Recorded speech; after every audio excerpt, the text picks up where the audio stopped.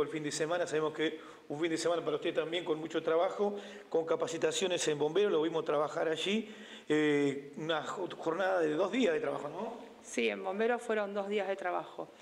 Eh, trabajó, fue un curso de rescate vehicular donde tuvimos participación, el departamento de socorrismo, una participación mínima, pero bueno, en realidad eh, quiero decir, el, el curso era de rescate vehicular específicamente y bueno, estuvimos trabajando el día sábado y el día domingo con bomberos. Y en este caso hablamos de bomberos, no solamente de bomberos de San Antonio, sino había bomberos de otras eh, ciudades también, ¿no? Sí, había bomberos de otras localidades, este, no solamente de la provincia, sino también fuera de la provincia de Río Negro y había gente invitada que vino a, dictar el curso. Yo creo que todo esto correspondería que lo hablara la gente del departamento de... Sí, sí, de capacitación de bomberos, pero lo vio usted, pero también tiene, está, está, en el rol de capacitadora. Sí, sí, sí, por supuesto. Pero ellos te van a especificar por ahí este, mucho más de lo que yo te pueda decir.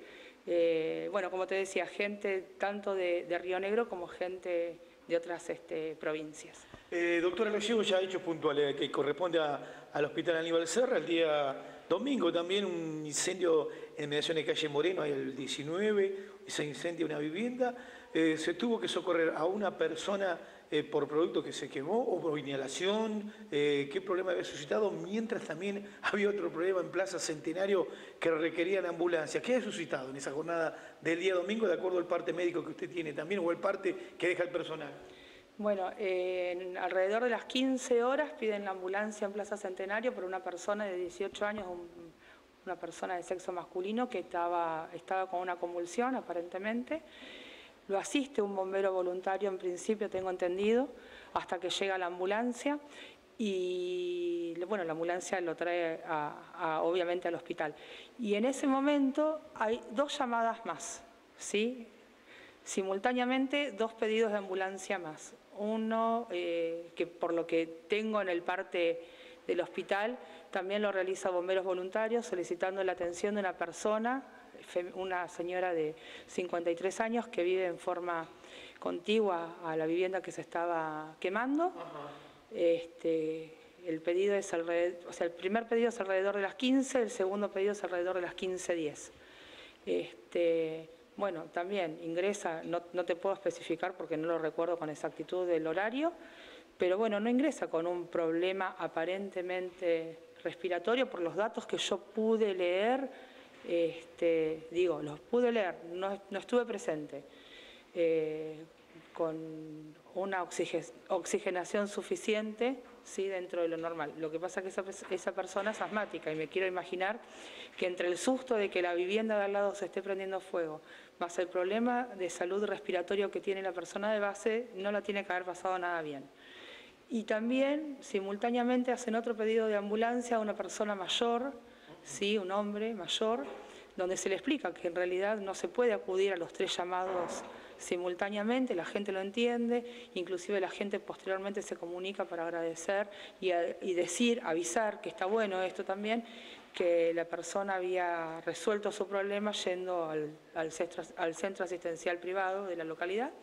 Así que bueno, esas tres cosas simultáneamente con 10, 15 minutos de diferencia, digamos, práctica, o sea, simultáneamente, con pocos minutos de diferencia, pero bueno, eh, obviamente que la salida no es salgo, lo resuelvo y ya está. O sea, hay un montón de cosas de por medio. Eh, muchas veces en esa instancia la gente también tiene que entender por momentos tres casos a la vez y había solamente una ambulancia para ese trabajo, eh, se busca la prioridad, cuál es la persona más complicada, me imagino. Sí, sí por supuesto, es, es, así.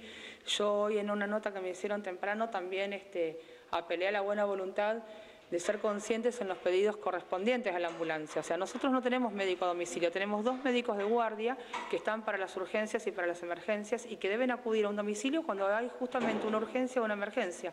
No porque haya gente con fiebre, no porque haya gente con vómitos o diarrea, como habitualmente nos piden la ambulancia, eh, porque se les dificulta el traslado, este, porque quieren, en vez de venir este, y ser atendidos en el hospital, quieren que uno resuelva en el domicilio y bueno, no es la función del médico del hospital tener que ir a resolver eh, los este, problemas de salud al domicilio, sino estar acá en el hospital y en el caso de extrema necesidad sí salir a un domicilio. Claro, cuando ves eh, la extrema necesidad es de urgencia, tiene un cuadro complicado para que llegue la ambulancia. Sí, sí, por supuesto. Pero esto que te digo es real. Nos piden por chicos con fiebre, por gente con diarrea, por gente por dolores óseos, ¿sí?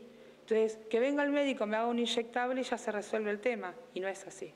O sea, eso es para la consulta, para la consulta en consultorio habitualmente. Eh, doctora, eh, ya le estoy agradeciendo y en la mañana de hoy también tienen una capacitación interna, ¿qué se va a dar? Sí, eh, a partir de las 10.30, o sea, a partir de las 10 los centros de salud, todos los centros de salud del área programa San Antonio Este, que incluye el puerto, van a estar cerrados, dado que, bueno, tenemos una capacitación, como vos bien dijiste, interna del hospital, para unar criterios de atención y, y otras cuestiones internas, valga la redundancia, del hospital.